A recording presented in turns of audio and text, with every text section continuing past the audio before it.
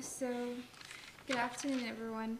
Um, thank you so much for being here. We really appreciate it, especially those of us that have been here since morning. Uh, I'm exhausted, so thank you so much. Um, so today I'll be talking about open educational resources, um, specifically Merlot as an open educational resource. Um, so first of all, um, I'm just going to give like a very brief um, description or overview of um, what Merlot is all about. Uh, so um, the full meaning is a multimedia educational resource for learning and online teaching. So uh, Merlot is basically um, an open educational resource which is um, they provide content for um, easy um, learning, um, teaching, and other academic uses for people. And it's it, Merlot is free, but um, most open educational resources they actually provide content um, for little to no cost at all.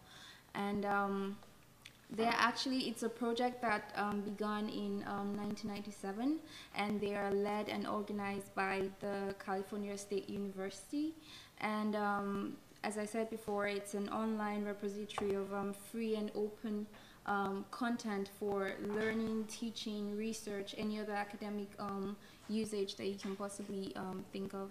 And they have about 80,000 80, um, educational materials right now. As at last night when I checked, I think they were about 78,000 something. So I just made that the closest number. Um, and membership is required to make active contributions to um, the Merlot community. So, um, you are not required to be a member to actually access their um, content. Um, that's free, anyone can go on and access that. But for you to make contributions, for you to um, maybe upload your own content that you feel will be useful for someone's research or teaching, um, you have to be um, a member to be able to do that. And right now they have about um, 145,000 members, and this is inclusive of um, staff that's actually paid staff um, of Merlot, um, volunteers, editors, peer reviewers, people that actually moderate the site, and all of that. they also have different partnership levels. So uh, they have one for educational institutions and this is broken into two which is um, one it's system um, partners and this is um, for um, a partner that's a collection of um, colleges or um, institutions or universities and then they have one for an individual college which might not necessarily be a, a, higher ed educational institution but still an educational institution. And then they have a corporate which tends to the need of um, for-profit organizations and not-for-profit organizations.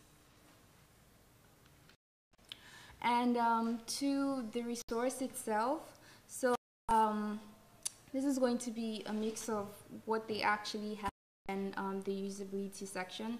So as you can see, they have, um, you can search materials. They have an advanced um, materials and uh, I was actually expecting to see like a Boolean search as um, a lot of uh, repositories have right now, but um, Merlot doesn't have that for some reason. But they still have other options, so you can search by title, URL, you know the person, the author who actually put up the material. If you um, know when the material was put up for some reason, uh, I'm pretty sure if you have that kind of information, you probably will not be um, searching, maybe. Mm-hmm. and um, you can also search for you can also search for members. So um, they're open about putting um, the contents, um, the contacts of all their members online, and you can search that as well. Go through the advanced member search and first name, last name, uh, position, whatever it is, uh, they have like a whole list of things. And then there's um, the browse all materials and the members. So um, while searching, um, finding they have, um, they're all categorized into different disciplines.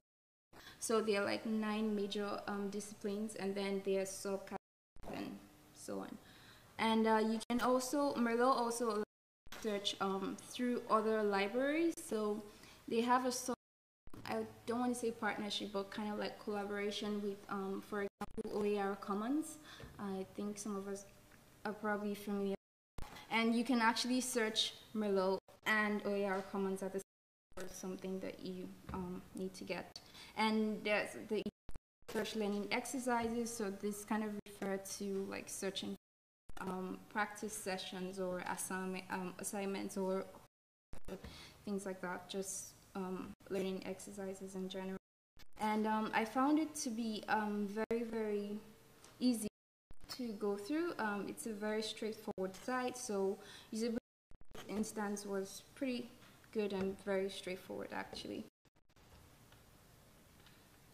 And uh, the technologies that they actually have. So uh, Merlot has um, web services, um, that's APIs, that um, they actually use to provide um, direct access to other third-party um, organizations or um, repositories maybe. And uh, some of this websites will include, um, so it's, it's dependent on you. If you have basic search access to Merlot, they're going to provide you with that. If you have advanced search access, they're going to provide you with that. And then it, um, I think it's about seven to eight options that you have, so you can from any one of them. And uh, this is also integrated um, a lot of learning management systems. So we use here at um, University of Ottawa, they have a good integration with that. And then they have one with um, Desire2Learn, which is the new one we're going to be using soon. And then they have Canvas and a lot more.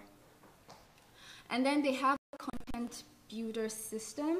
So um, Merlot has like an integrated website development tool that you can use to develop your web pages or maybe even a website if you want. And they give you access, um, they give you the option of making this public. They give you the option of actually choosing to embed a Creative Commons license. That's how you want people to be able to use your data, which is good. And then you can also contribute that you've built back to the Merlot community if you want. So all open. And then they have templates, so it's kind of easy to use. And finally, um, con in conclusion, uh, so um, as I said before, Merlot is a very good site. It's pretty straightforward. Um, looking through their partnership, um, um, the, the, members that they had, I noticed that it was all um, well, partners and members from the United States. And um, I guess it makes sense. But um, I think it would have been really good to actually see like um, contributions or presence of other countries and well, Canada to start with, I guess. And um, also, uh, the website seemed a little bit dull. I was almost bored.